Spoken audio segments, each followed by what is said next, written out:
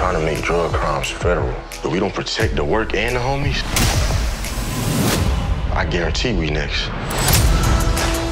Marquisha's very high class. You don't have what it takes to keep up with a woman like her. I know where you're at, and you know where I'll be. Taking Henry and BMF down will at least give us some peace.